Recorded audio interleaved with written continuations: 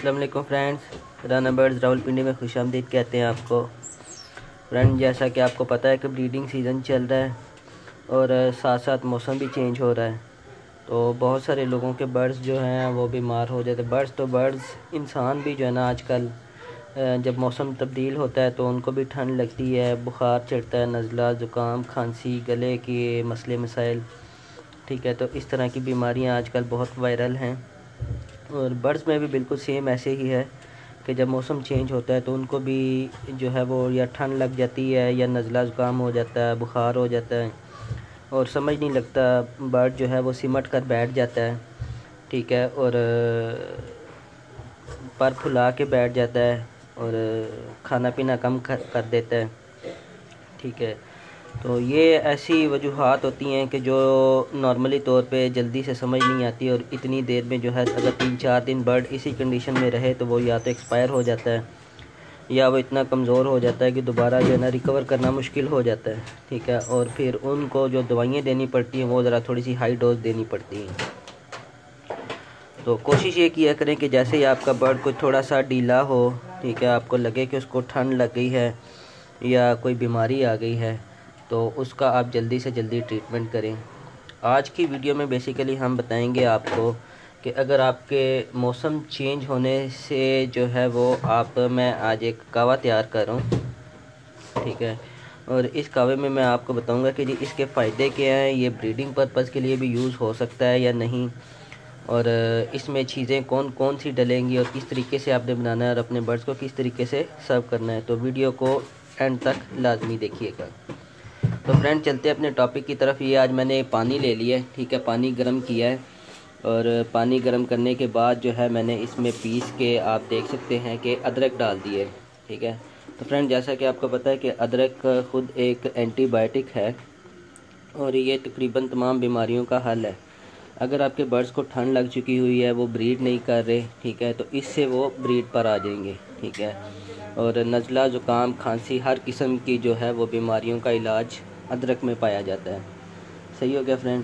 تو اس کعوے میں میں کچھ چیزیں اور بھی ایڈ کروں گا، ٹھیک ہے؟ اور وہ چیزیں یہ ہیں، دیکھیں میں نے تھوڑا سا سبز پتی کا کعوہ لے لیا ہے ٹھیک ہے؟ اب یہ پانی جو میں گرم کر رہا ہوں اس وقت، ٹھیک ہے، یہ تقریباً دو سے ڈھائی لیٹر ہے، ٹھیک ہے؟ اس دو سے ڈھائی لیٹر پانی میں آپ میں آپ کہہ سکتے ہیں کہ جی تین چٹکیاں صرف اس طریقے سے ایسے اٹھائیں گے تو یہ تقریباً ڈھائی سے تین چٹکیاں جو ہیں یہ سبز کعوہ ہے، ٹھیک ہے۔ اس کے بعد یہ ہے بڑی الائچی، ٹھیک ہے۔ یہ گرم مسالے میں ہوتی ہے، ٹھیک ہے۔ یہ الائچی، اس کے بعد یہ ہے دال چینی ٹھیک ہے۔ یہ لکڑیاں جو ہوتی ہیں گرم مسالے میں، ٹھیک ہے۔ اور اس کے بعد ہوتا ہے یہ لونگ، ٹھیک ہے۔ یہ لونگ آپ نے کیا کرنا ہے؟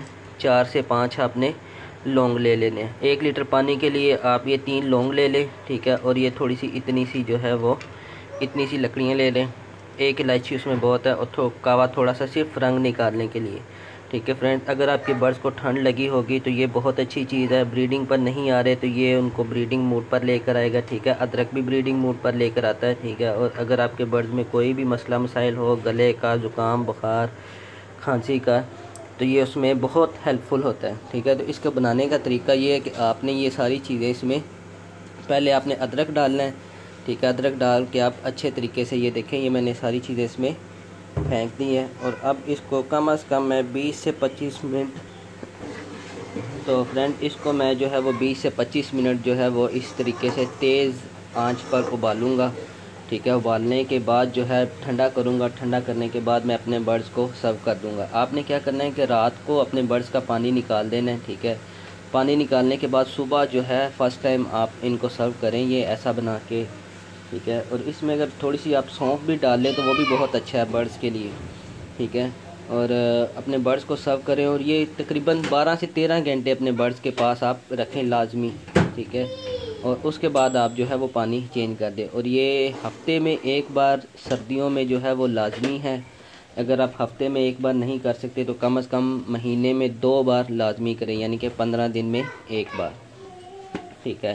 اگر آپ یہ ٹوٹکے استعمال کرتے رہیں گے، یہ صفوف اور یہ کعوہ جو ہے استعمال کرتے رہیں گے، تو آپ کے برڈز میں کسی قسم کی کوئی پرابلم نہیں آئے گی اور انفرٹیلٹی کا جو مسئلہ ہوتا ہے وہ کافی حد تک ادرک کے پانی سے اور یہ جو دال چینی ہے، اس کے کعوے سے کافی حد تک جو ہے وہ انفرٹیلٹی کا مسئلہ حل ہو جاتا ہے۔ لوگ پوچھتے ہیں کہ جی انفرٹیلٹی کس طریقے سے کم ہوگی یا ٹھیک ہوگی؟ تو فرینڈ، اس کا کوئی ایک طریقہ نہیں ہے۔ آپ جو ہم ڈسکس کرتے رہتے ہیں، یہ ساری چیزیں، سارے ٹوٹکے، ساری ادویات، ٹھیک ہے، اور ساری جو ریمیڈیز ہوتی ہیں، آپ ان کو یوز کرتے رہا کیجیے۔ ٹھیک ہے؟ کوئی پتہ نہیں ہوتا، کچھ پتہ نہیں ہوتا کہ کون سے برڈز کی جو ہے ہر، کیونکہ برڈز کی بیماری مختلف ہوتی ہے، جس طرح انسان کے لیے ہر انسان کے لیے ایک ہی بیماری کی مختلف ادویات ہوتی ہیں سیم ایز اٹ از جو ہے، ہر برڈ کے لیے جو ہے وہ ریمیڈی مختلف ہوتی ہے۔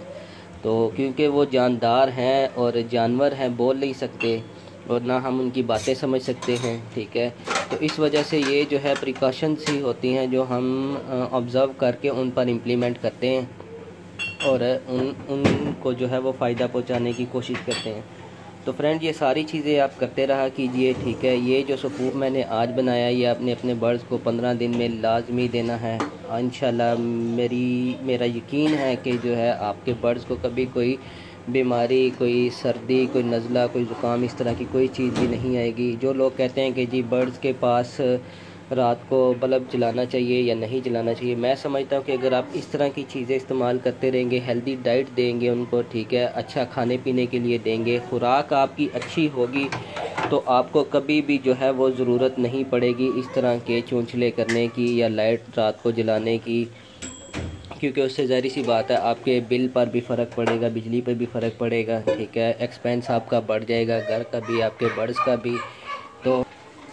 تو فرینڈ، یہ جو صفوف بنا ہے، یہ تقریباً بیس سے پچیس روپے اس پہ کاسٹ آگی ہوگی، اگر میں بہت بھی زیادہ لگا لوں، ٹھیک ہے؟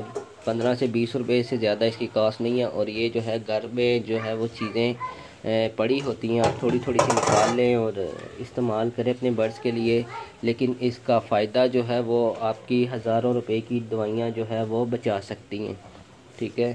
تو فرینڈ، امید کرتا ہوں آپ کو آج کی ویڈیو پسند آئی ہوگی۔ جن لوگوں نے میرے چینل کو سبسکرائب نہیں کیا، وہ میرے چینل کو سبسکرائب کر لیں تاکہ آپ کو لیٹسٹ سے لیٹسٹ انفارمیشن ملتی رہے اور ساتھ جو بیل آئیکن ہے، اس کو لازمی دبائیے گا تاکہ جو ہے جیسے ہی میں کوئی ویڈیو اپلوڈ کروں، وہ سب سے پہلے آپ تک پہنچ جائے۔